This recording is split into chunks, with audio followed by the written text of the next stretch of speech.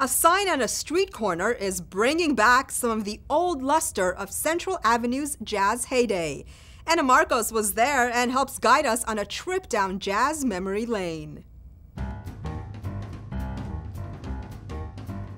Can you believe this dusty corner of South LA was once ground zero for the jazz era on the West Coast?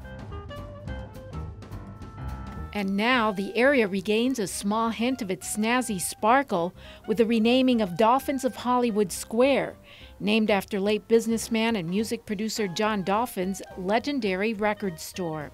He named it Dolphins of Hollywood because he wasn't allowed to open a business in Hollywood. So Hollywood wouldn't allow him, so he said he's going to bring Hollywood to South Central.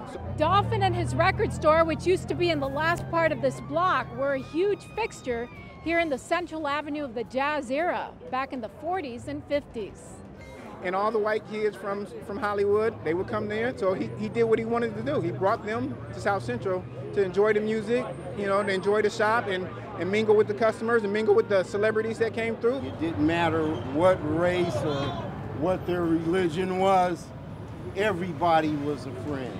Back in the store's heyday, people came to Central Avenue to hear the music of such greats as Sam Cooke, Charles Mingus, and Billie Holiday, and then they went to Dolphin's record store to buy the music. Not only did John Dolphin uh, help lay the groundwork for bringing rhythm and blues here to LA, uh, but he really set the tone for being an entrepreneur, a businessman, an entrepreneur, and someone who was connected to the community. I'm told that he uh, was famous for uh, pioneering the buy one, get one free concept. Dolphin's grandson Jamel has written a biography on his grandfather, as well as a critically acclaimed musical recorded in Hollywood, which is running at the Kirk Douglas Theater. Central Avenue is important in the history of Los Angeles. Dolphins is important. All of Central Avenue is important. In a sign is a small thing, but many here hope it's not just another street sign, but a symbol of a new renaissance for the Central Avenue corridor. I'm Anna Marcos for LA This Week.